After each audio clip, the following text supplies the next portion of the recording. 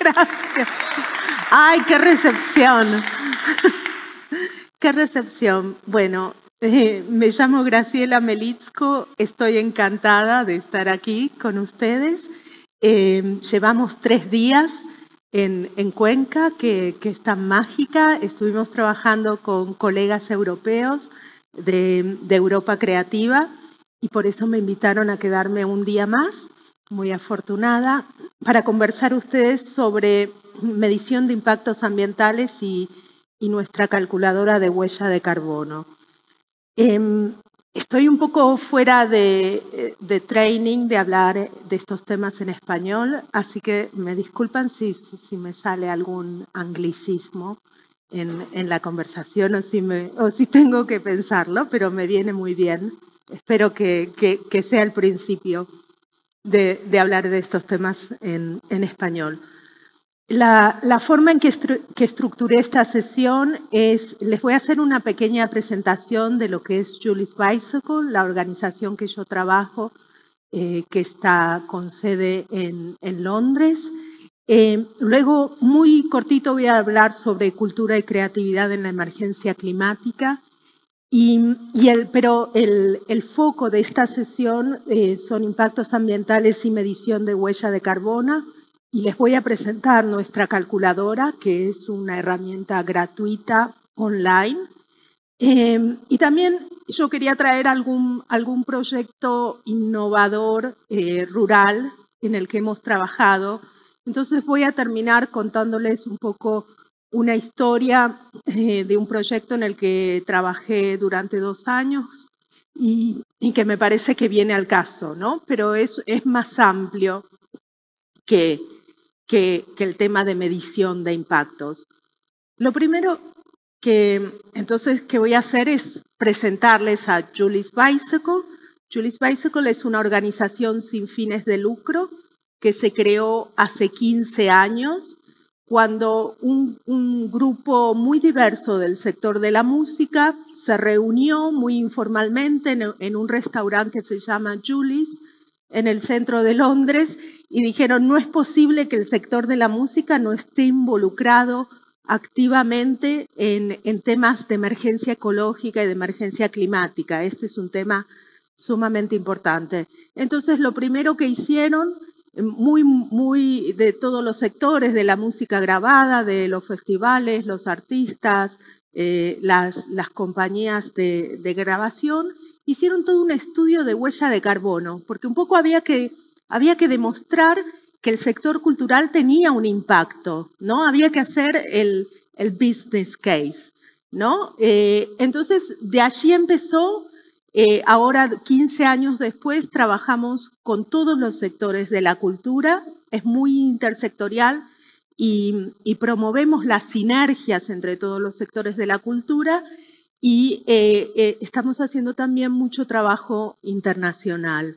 digamos, nuestro trabajo nos sentimos reconocidas en ese sentido y, estamos trabajando en forma internacional fortaleciendo, siempre fortaleciendo a las, a las organizaciones locales y nacionales. Eso es algo muy importante de la forma en que nosotros trabajamos a través de colaboraciones. ¿no? Y los, eh, los eh, marcos teóricos que usamos en nuestro trabajo son eh, que queremos que el arte y la cultura eh, se adhieran al principio de cero emisiones y que regeneren la naturaleza también, eh, que el arte y la cultura inspiren la acción climática y que esto se base en, realmente en valores de equidad y de justicia climática.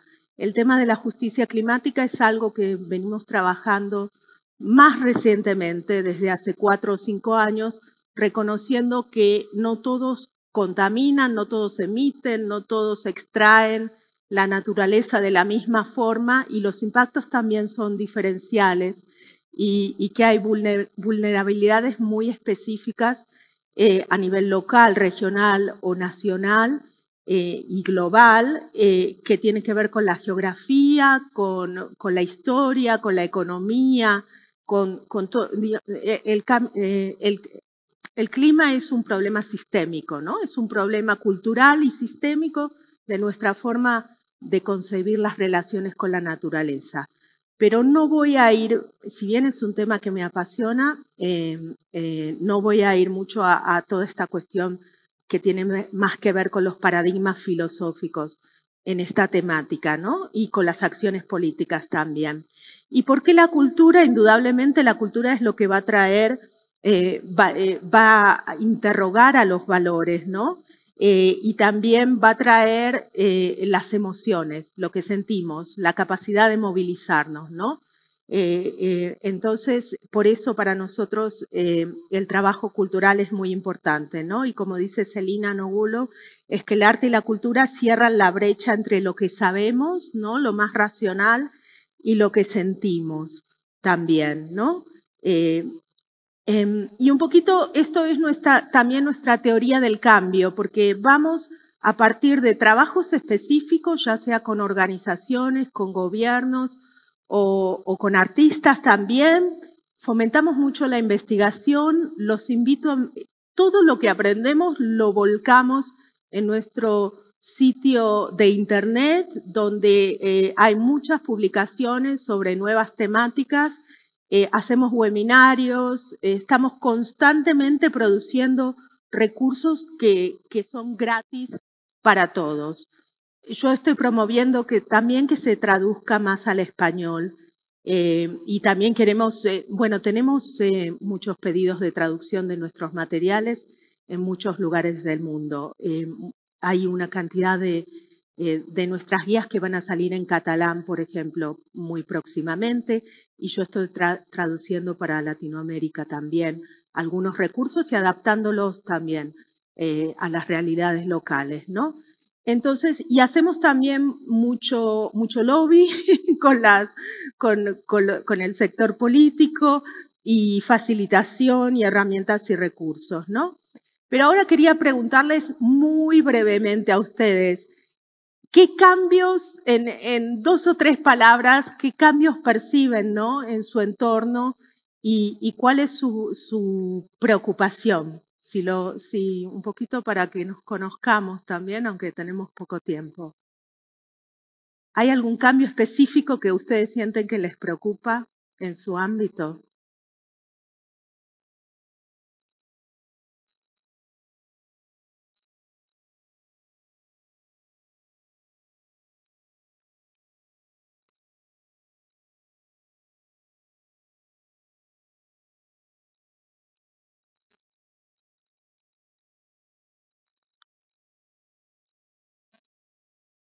Es la gran cantidad. De gente que llega a nuestros pueblos y, la gran cantidad de diversidad cultural que, existe, ¿no? Sí, esto que decíamos que, que, es, que es el sistema, ¿no? Que ahí se ve, se ve muy claro que es una forma eh, en la que nos relacionamos. Dos o tres más. Ana, ¿qué quiere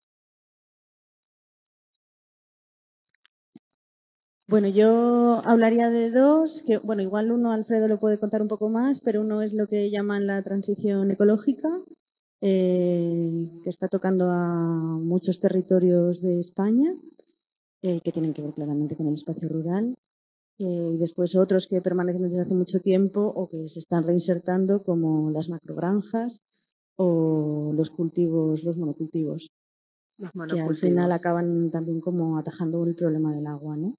Y otros más antiguos que, que tienen que ver con los, con los terrenos de sacrificio que pasan bueno, pues por políticas en realidad energéticas, la mayoría de ellas, y que todo tiene que ver con una cuestión económica al fin y al cabo y de extracción de, bueno, pues de los recursos del territorio. Uno más. Voy a tener que ser un poco estricta porque tenemos poco tiempo, pero sí, sí, sí. Gracias, sí. Hola, pues eh, para mí la preocupación principal, yo trabajo con tecnología, eh, proyectos de arte y tecnología en el medio rural, y para mí la preocupación es la eh, soberanía o la democracia, porque los recursos son colectivos, pues el agua, por ejemplo, o el coltán, las tierras raras, y sin embargo los usos son privativos. Se pueden dedicar a campos de golf y a Apple o cómo podemos tomar decisiones de cómo se hacen, qué se hace con los recursos tan escasos, ¿no? Sí, sí. Bueno, creo que en todos los comentarios se ve claramente este componente sistémico y de relaciones y, que tiene que ver no tanto con lo natural, sino realmente con lo social, con lo económico, con cómo em, usamos, habitamos el, entorno, ¿no? Cómo habitamos nuestros, nuestros espacios. Y ahora me voy a poner mi sombrero más sistemático, menos filosófico, para hablar eh, sobre la huella de carbono específicamente, ¿no? Eh, y esto es el trabajo que hacemos en cuantificar los, los impactos, ¿no? Una huella de carbono es una medida del impacto en el cambio climático, de una, puede ser de una actividad, puede ser de un producto, de una persona, de un país, de una ciudad, ¿no? Eh, eh, eh, depende de lo que nos interese medir en términos de impactos ambientales.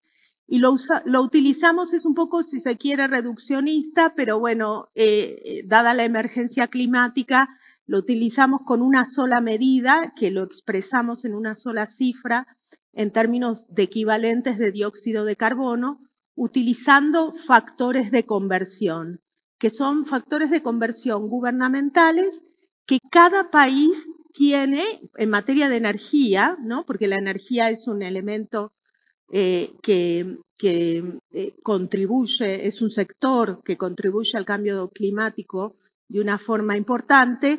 Eh, entonces, la forma de producir energía de cada país va a tener este factor, que es un número de conversión específico.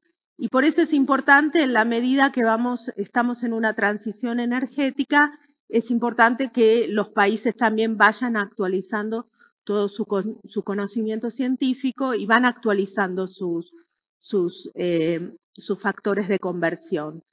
También se, se utiliza eh, en, temas de materiales, que, que lo voy a, decir un poquito más en profundidad, pero lo introduzco ahora, en temas de materiales utilizamos em, la metodología de análisis del ciclo de vida.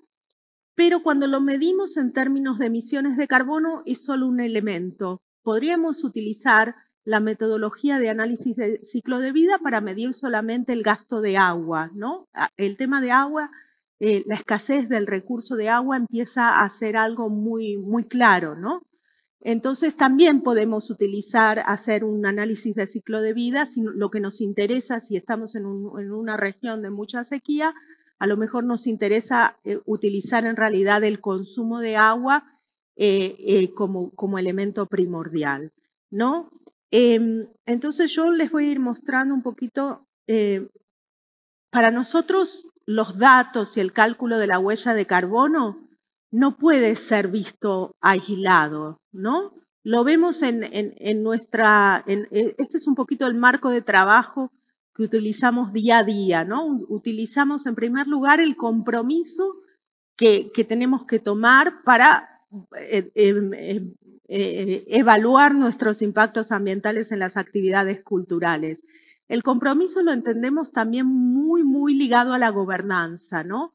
Muy ligado a, bueno, ¿qué, personas van a ocuparse de esta temática en una organización cultural o en, un evento cultural? Eh, ¿Qué capacitación necesita esta persona para empezar a, repensar todos estos elementos? Eh, ¿Cómo lo miramos a nivel organizacional? ¿Lo sistematizamos? ¿Lo revisamos? ¿Tenemos un equipo eh, que acompañe todo este trabajo? ¿no? Entender lo, vemos más en, términos de entender los impactos. Esto que decía, seleccionar los impactos más importantes y, calcular la huella de carbono si esa es la forma en que queremos medir, ¿no? Mejorar todas las acciones y los planes que tenemos para mejorar estos impactos eh, que identificamos y comunicar y crear comunidad y siempre en un círculo, ¿no? Em, en, un, en una serie de seminarios que hicimos con, con festivales en Latinoamérica, como tuvimos que ir muy rápido, que es el caso de hoy también, me dijeron, nos sentimos un poco abrumados porque como que se nos abrió toda una dimensión que no habíamos pensado antes y entonces, ¿cómo empezar? ¿no?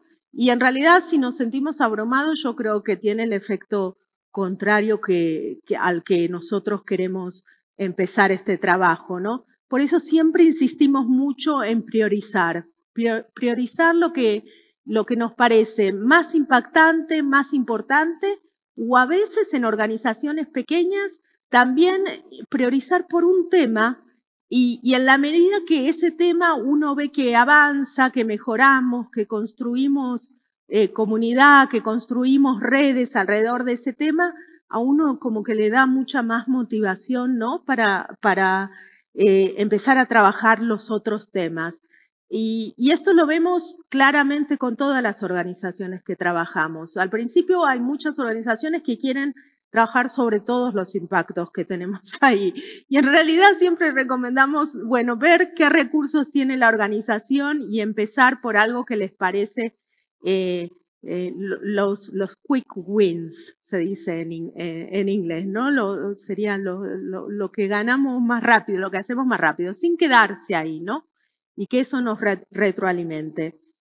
Entonces, en cuanto a temas de impacto, eh, en proyectos internacionales está todo el tema de, de los tours, de los viajes de los artistas, de del transporte, la ruta y la logística, el alojamiento, la comida, la bebida, qué lugares se seleccionan, qué pasa con el acceso al transporte público, sabiendo que eh, en, las cuestiones rurales esto es, es, es, algo difícil, ¿no? No vamos a negar que, que, es algo difícil, pero muchas veces insistimos en abrir el tema, en abrir la conversación, en crear, eh, a veces a lo mejor lo que podemos hacer es crear más conciencia y movilizar eh, a, quienes pueden tomar alguna decisión en cuanto a mejorar el acceso a la infraestructura. A lo mejor no es solamente medir lo que hacemos, sino en influenciar al sistema en forma más amplia. En temas de edificios y locaciones miramos el consumo de energía, el consumo de agua, los residuos, qué materiales usamos, de dónde vienen todos esos materiales que utilizamos en la producción, eh, cómo, somos eficientes como equipo, qué pasa, podemos mejorar algunos elementos o, nos repetimos un poco, ¿no? Eh, y bueno, como decía, el tema de la comida, los viajes del público y las comunicaciones.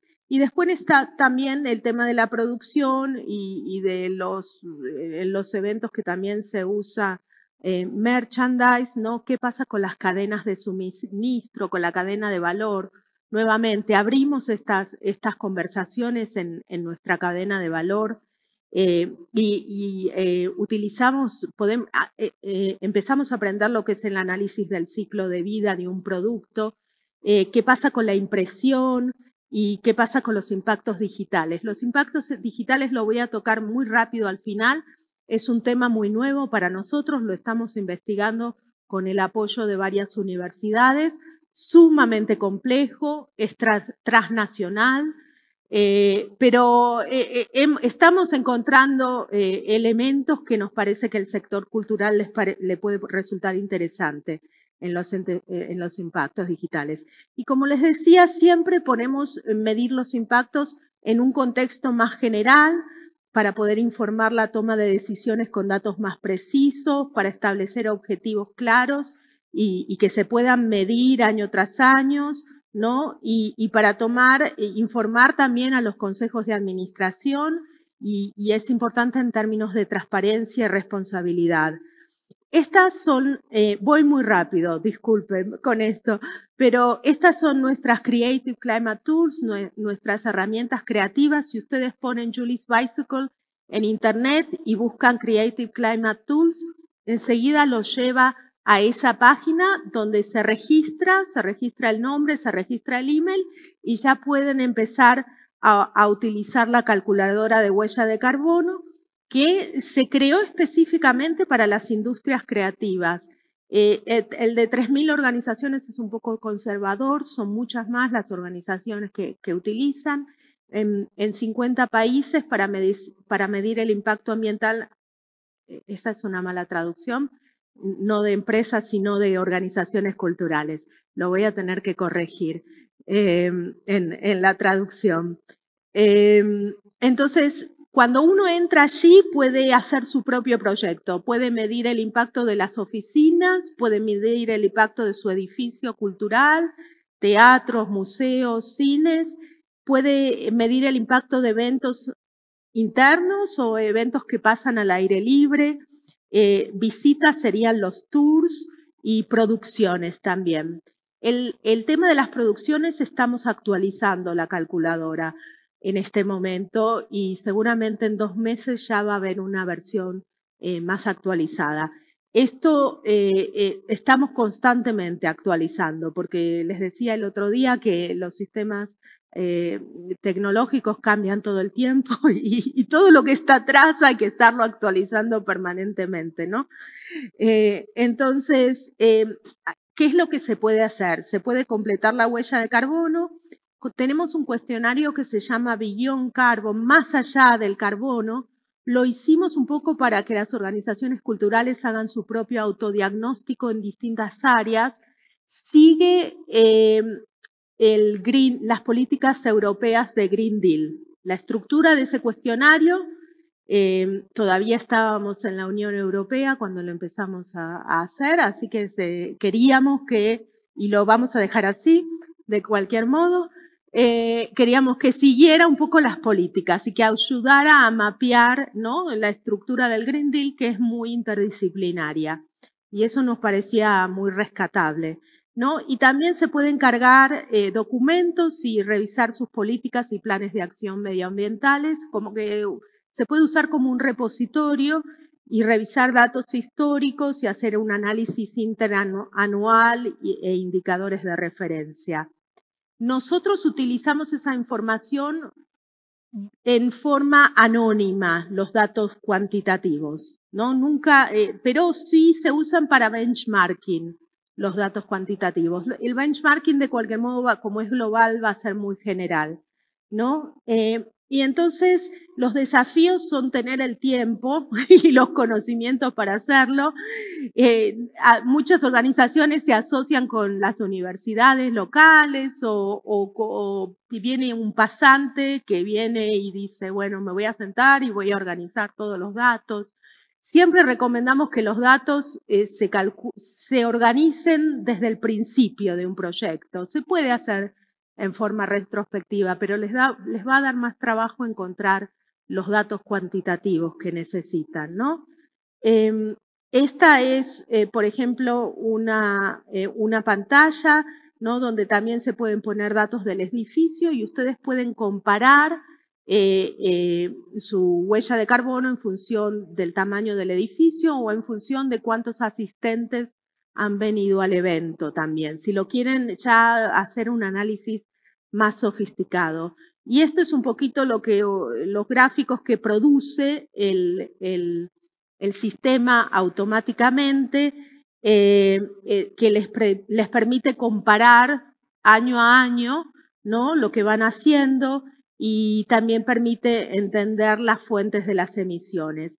Ahí les puse un ejemplo de un cine, que es un cine fantástico, eh, independiente que está en una zona semi-rural, em, no muy lejos de, Londres, y la forma en que ellos utilizan la calculadora de Julius Bicycle para todos los años hacer un reporte y, que esté disponible para que todos lo puedan ver. Pero como pueden ver ahí también no se, no se limita, lo que hacen eh, el elemento cuantitativo es un elemento importante, pero eh, tienen, tiene todo esto en su web. Ellos eh, dicen cómo se construyó el edificio, que es un, un, proyecto de regeneración, porque creo que era una vieja cervecería, con criterios ambientales. El tema de la cadena de valor, cómo manejan todo el tema de la naturaleza, tiene todo techos verdes. Eh, la programación tiene mucha programación independiente y que aborda estas temáticas, tiene su festival verde. Eh, el tema del transporte, porque está semi-rural y es, y es crítico entonces cómo, cómo, cómo se accede y, y, hacer comunidad, ¿no? Y además ellos eh, son muy comprometidos y hacen muchas charlas con los cines por toda Europa y, tienen un proyecto en África también, porque quieren, eh, desde el punto de vista de la justicia ambiental, les interesa también eh, em, colaborar con un proyecto en África a largo plazo. Han establecido una relación a largo plazo, ¿no? Con ese proyecto. Y aquí les muestro, eh, esto es la Bienal de Cuenca de Ecuador, no podía dejar de mostrarla.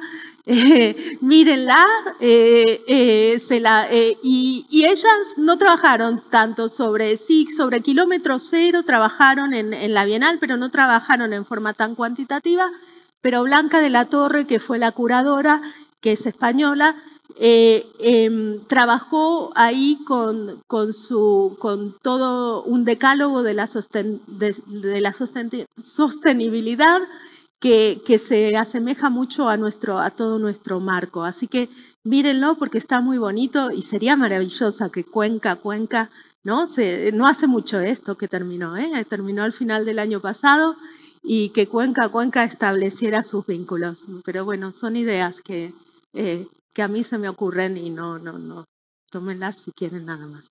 En términos, volvemos a la medición de impacto.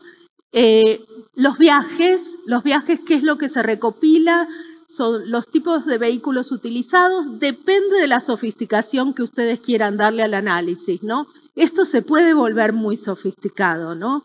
Eh, em, eh, pero bueno, si ustedes quieren el tamaño del vehículo, el tipo de combustible, pero hay ciertos datos básicos que más bien yo diría si es avión, si es auto, si es barco, eh, si es eh, tren o ómnibus o si es el Eurostar, porque el Eurostar ha invertido mucho en, ser más eficiente.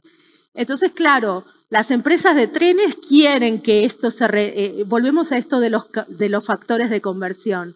Las empresas de trenes quieren que se reconozca cuando hacen este esfuerzo. Entonces, bueno, vale la pena cuando uno tiene una herramienta eh, más compleja, reconocerlo, pero si no tiene una herramienta más compleja, nos mantenemos con un, eh, promedio de, emisión de los trenes en Europa, que tienen, si uno lo empieza a mirar en detalle, hay mucha diferencia entre las empresas. Pero bueno, esto ustedes seguramente lo saben muy bien.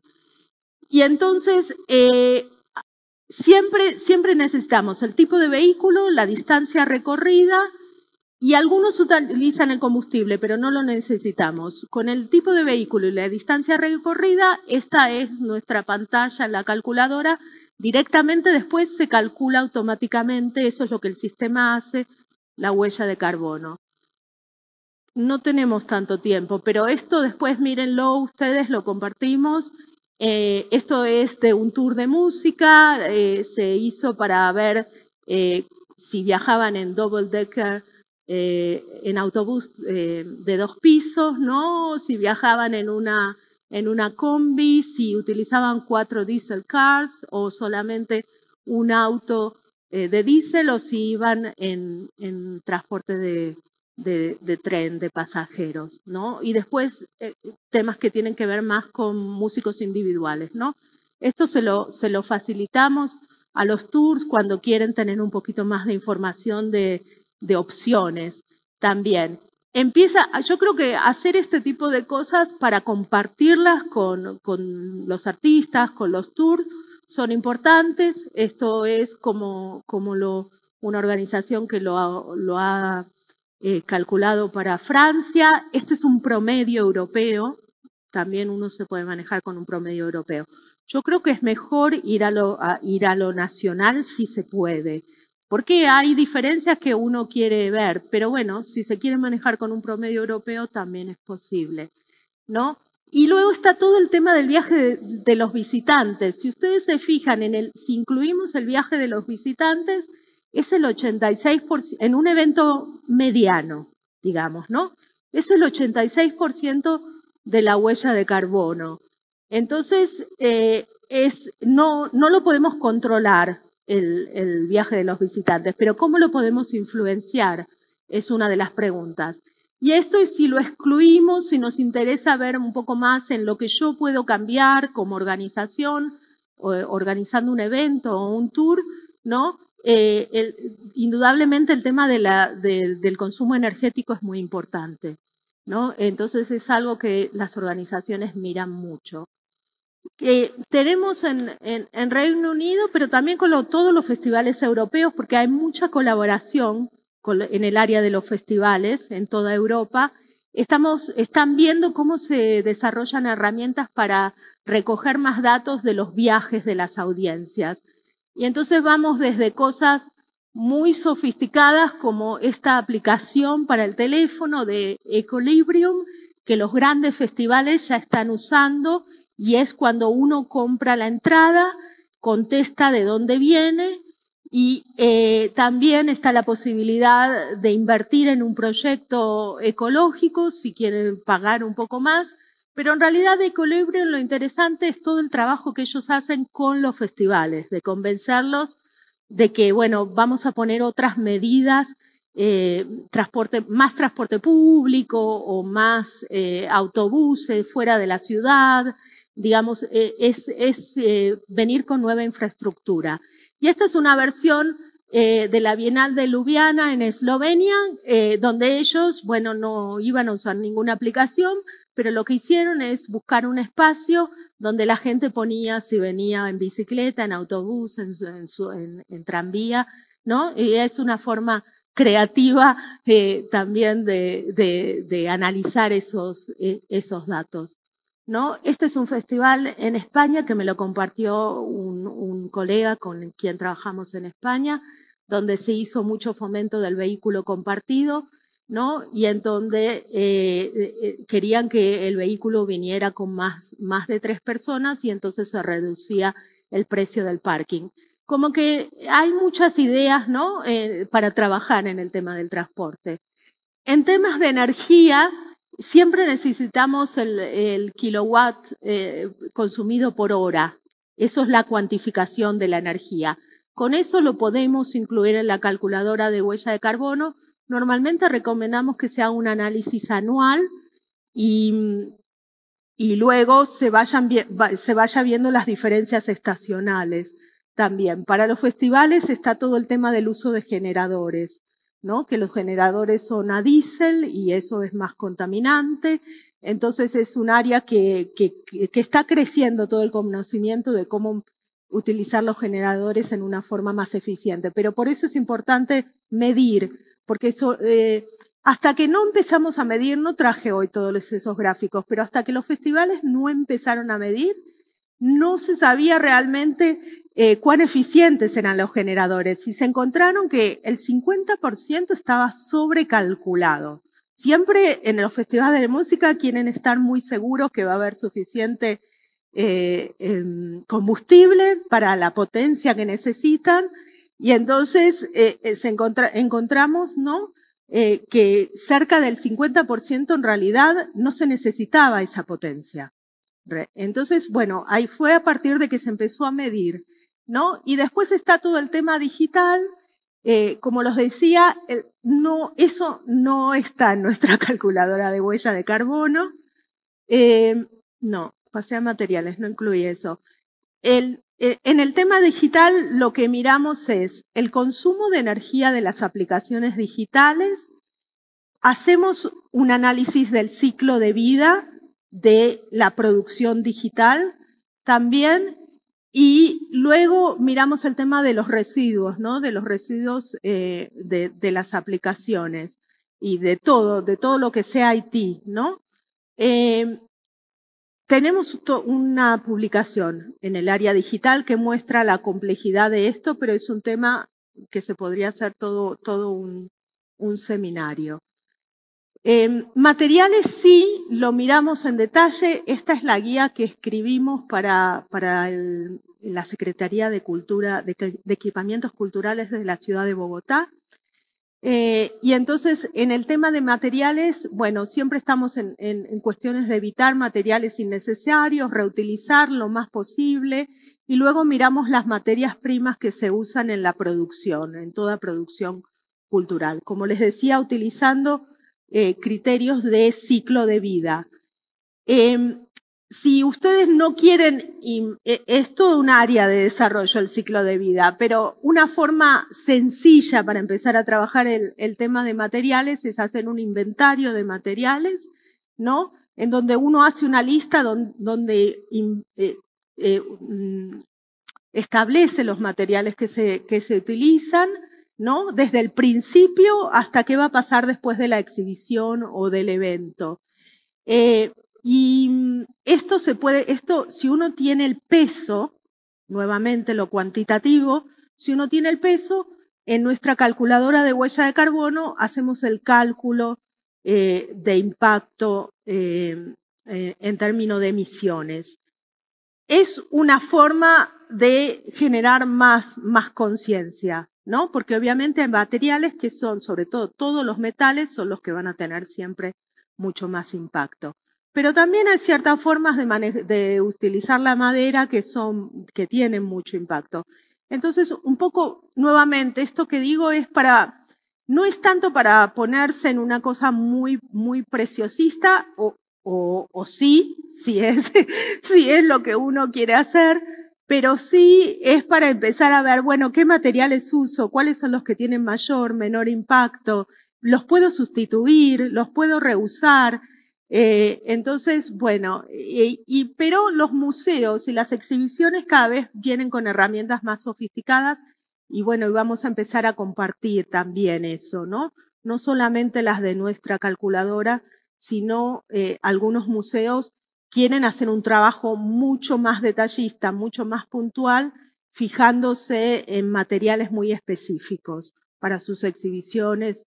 Hay mucha innovación, es un, es un área fascinante en realidad, eh, eh, el tema de materiales y nuevos materiales, ¿no? Superando este concepto extractivista, ¿no? Porque eh, ese es, ese es el, elemento central, ¿no? utilizar la, economía circular como, como paradigma, no solo reciclar, sino utilizar un concepto más integral, que los materiales que no usamos más se puedan usar para otra cosa, ¿no? Ser mucho, mucho más circular. Eh, porque no hay, los minerales que se utilizan en los dispositivos electrónicos no hay para suficiente, eh, suficientes eh, metales para, para el, crecimiento aceleradísimo ¿no? de, de, los productos digitales. Esta es una realidad. ¿no? y por otro lado hay abundancia, hay abundancia de muchos materiales, hay abundancia de, ¿no? de, de muchos eh, de, de, muchos otros em, eh, semillas y de muchos otros, eh, em, de todo lo que comemos que no, se, que no se usa más. Y entonces volvemos a lo vernacular, a lo, a lo más local, y en realidad hay toda una abundancia que quedó olvidada, que, que necesita redescubrirse, ¿no? en oposición a los monocultivos en algún punto. Tenemos algunas organizaciones culturales que están haciendo pilotos en todos temas de, inventarios de materiales, teatros y museos, fundamentalmente, y, establecen objetivos, dicen que quieren que el 50% de los materiales de los que utilizan tengan una vida previa o, experimentan con nuevos materiales, ¿no? Y, y, eh, en general trabajan con esta, con esta, es una planilla de cálculo, parece complicado, pero es una planilla de cálculo nada más, que lo más importante es que desde el principio que compran un material, piensan en cómo se va a disponer al final y cuál va a ser el, futuro, uso futuro y cuál va a ser el transporte. Nuevamente, volvemos a estos conceptos más integrados, ¿no? Y acá me disculpan porque yo quería poner una foto de lo que comíamos acá y me olvidé y mandé la presentación. Bueno, esto es un poco sobre el tema de la comida. Lo, puedo, ah, lo puedo describir, ¿no? Em, no, eh, esto es, no tenemos calculadora de huella de carbono en nuestro website para, para comida, pero es un tema que nos apasiona y que nos interesa mucho. Eh, sí tenemos un, un, nuevo informe de investigación que se llama uh, Food and Culture, creo que se llama, eh, que trae toda la dimensión global, además de la producción de alimentos, ¿no? Sobre todo de los alimentos que tienen mucho, mucho procesamiento, que viene, ¿no? El aceite de, palma que está en, en, todos los alimentos procesados, que viene de todos los lugares del mundo, ¿no? Recuperar esa dimensión de las conexiones globales.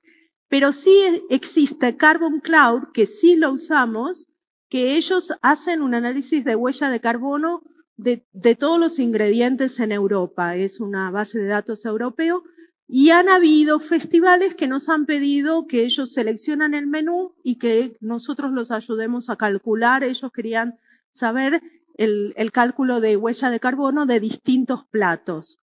Y después eso lo revisan y en el próximo eh, elaboran un, un próximo menú. Eso lo hemos hecho también en los Brit Awards, que es Rock and Pop, son los premios Rock and Pop en el, en, en el Reino Unido. Y, y, hay muchos festivales en Europa como Roskilde, eh, en, en Holanda, que, que, bueno, que han tenido, eh, que, que, siguen utilizando esta calculadora.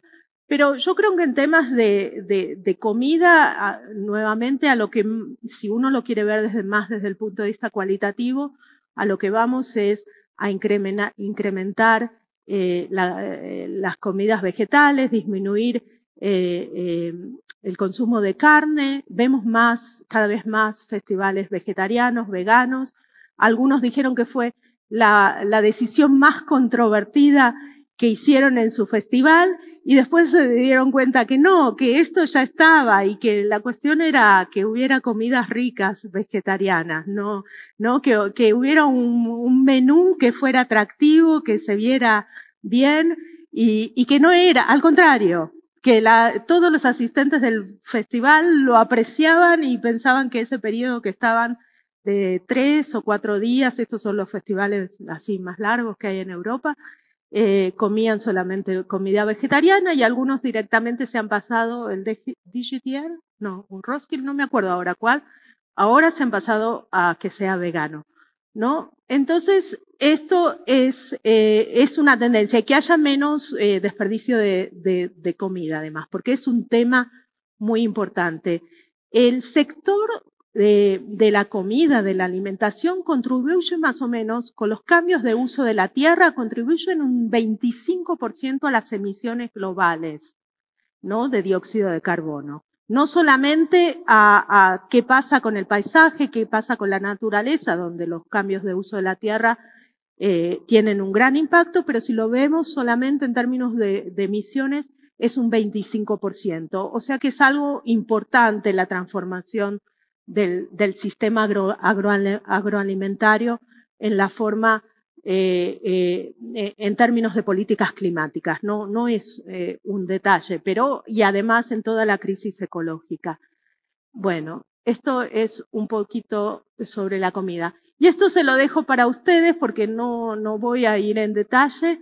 Eh, ¿no? que es un poco lo más, lo que les decía, lo más cuantitativo sobre los datos que ustedes necesitan primero eh, tener para después poder utilizar eh, la calculadora de huella de carbono.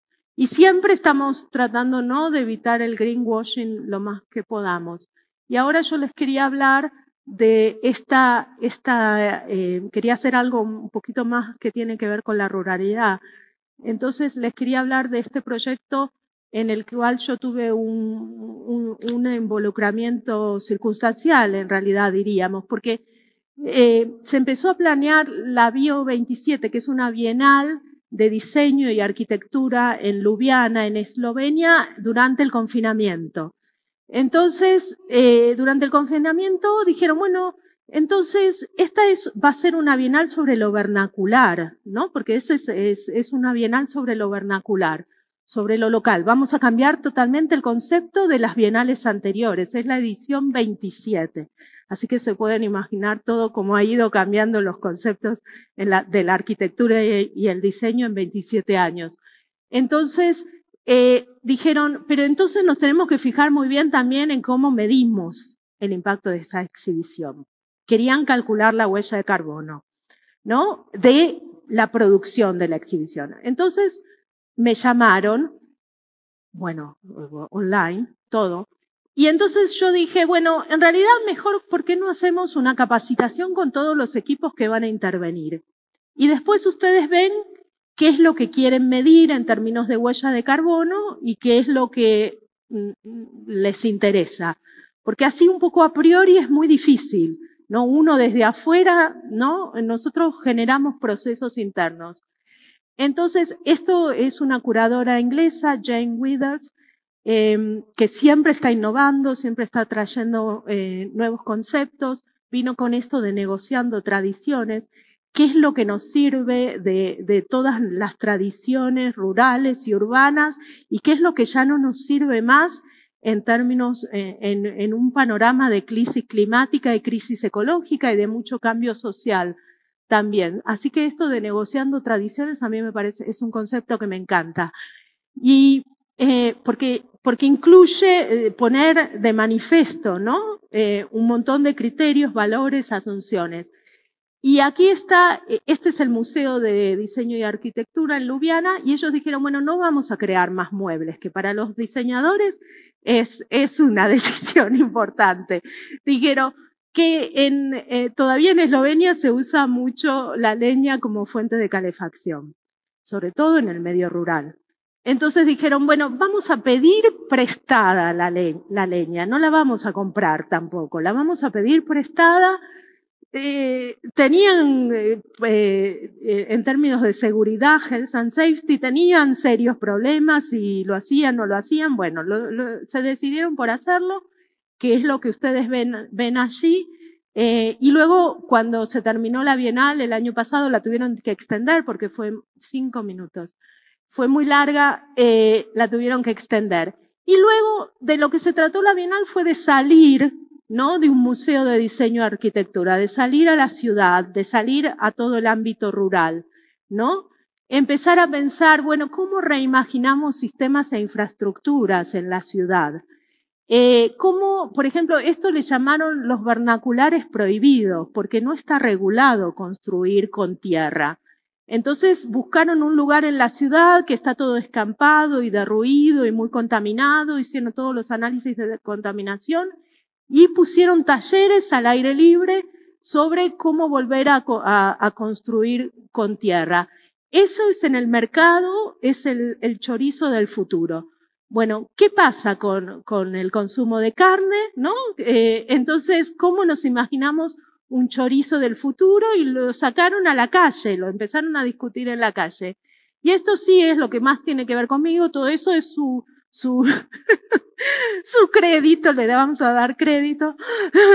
Esto sí, y dijeron, bueno, y aprendimos tanto después de todo este proceso, de todas estas eh, capacitaciones que fueron todas virtuales, ¿no? Recién salíamos del confinamiento cuando se empezó a, hacer la Bienal. dijeron, eh, una arquitecta de la universidad dijo Bárbara Prodan, dijo, vamos a compilar todo esto que aprendimos en, en una herramienta para planificar el futuro de, exhibiciones más sustentables, que ahora la, están llevando a todos los museos eh, del país. Y esto es un poquito para demostrar que, que, cuando hay ecosistemas que quieren cambiar, que quieren modificar, esto tiene un efecto de largo plazo, porque bueno, ahora el nuevo arquitecto de la ciudad empieza a incorporar también todos estos conceptos que se estuvieron trabajando en, en la Bienal, hay proyectos rurales muy interesantes, eh, así que, y que se enlazan con, con todo esto. Y, y, les quería decir, y el Museo de Diseño de Londres, como hubo curadoras eh, británicas, dijeron, bueno, nos interesa esto, nosotros también hicimos una exhibición donde medimos el impacto y la huella de carbono. De estas dos, dos experiencias vamos a sacar una, una, nueva, un nuevo eh, toolkit, una nueva publicación y están haciendo también una herramienta para, de diseño, ¿no? Que, que es buena. Bueno, a ustedes, a ustedes. Sí.